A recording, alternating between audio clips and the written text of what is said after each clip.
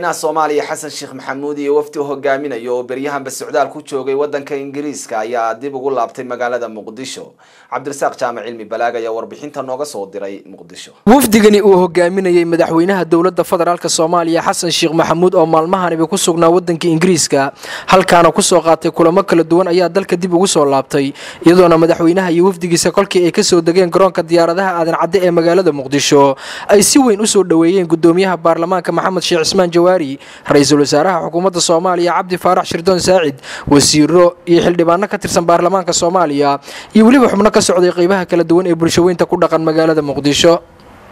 Madaxweynaha ayaa intii uu ku sugnaa dalka ingiriiska waxa uu halkaasi kulamo kula qaatay. Ra'iisul wasaaraha dalka ingiriiska david cameron oo ay ka wada hadleen xiriirka labada dal iyo guud ahaan xaalada guud ee dalka soomaaliya isagoona sidoo kale madaxweynuhu kaga soo qaybgalay dalka ingiriiska. Xafladii boqorada dalka ingiriiska ay ku qabatay halkaasi afhayeenka madaxtooyada soomaaliya injineer cabdiraxmaan cumar cismaan yariisow ayaa ka warbixiyey safarka uu madaxweynaha iyo wafdigiisa ka soo laabteen.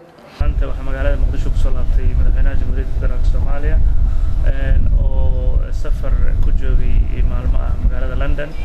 Kadib markii casuumaad rasmi uu ka helay ra'iisul wasaaraha dalkaas ingiriiska oo ah markii saddexaad oo uu ra'iisul wasaaraha ingiriisku casuumo madaxweyne soomaaliyeed. Runtii kulanka marka hore uu tegay madaxweyne waxay ahayd maalinta shan iyo tobanka oo uu la kulmayey ra'iisul wasaaraha dalkaas ingiriiska david cameron waqti dheer wada qaateen. Kadibna uu ka qayb galay xafladdii boqortooyada oo sanad guuradeeda ahayd oo lagu casuumo madaxda caalamka. Iyo shirkii hordhaca g eight-ka oo isla shan iyo tobanka ka dhacayay magaalada london. Cabdirasaaq jaamic cilmi balaag somaali channel muqdisho